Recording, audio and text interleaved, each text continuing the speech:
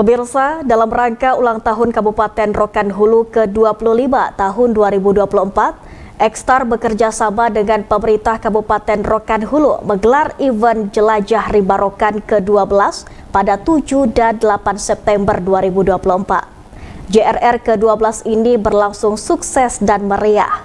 Lebih dari 700 riders dari Sumatera dan Pulau Jawa mengikuti event ini. Event tahunan Jelajah Rimba Rohul atau JRR ke-12 tahun 2024 diawali dengan event Jelajah Rimba Jalur Private yang berlangsung Sabtu pagi di Bukit Barisan kawasan objek wisata Danau Cibogas. 100 orang riders mengikuti Jelajah Rimba Rohul Jalur Private tersebut.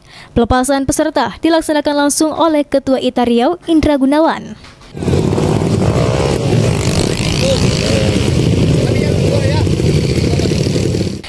Hari kedua, tepatnya Ahad pagi, digelar pula jelajah rimba rohul untuk umum yang diikuti lebih dari 700 peserta dari Sumatera Utara, Sumatera Barat, Riau hingga Jawa.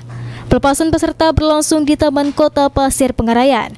Secara resmi, para riders dilepas Wakapolres Rohul, Camat Rambah, Kelapas Pasir Pengarayan, Kadis Perhubungan, Ketua Ekster Rokan Hulu, dan Ketua ITA Rokan Hulu dengan pengibaran bendera star.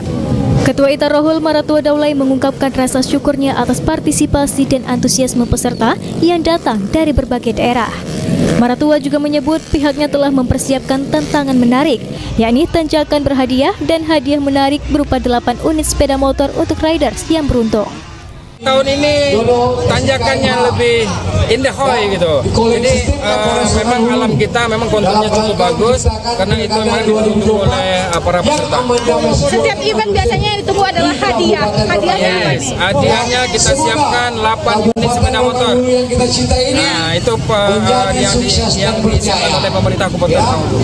Oke, Dan pada pada ini pada kesempatan ini kami juga minta berterima kasih kepada uh, pemerintah Kabupaten Rokan Hulu yang telah mensupport kegiatan ini.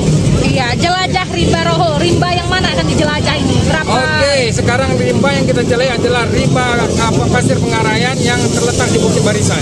Berapa lintasannya? Berapa kilo? Oke, lintasan untuk jalur privat 20 kilo kilometer dan jalur reguler 35 kilometer.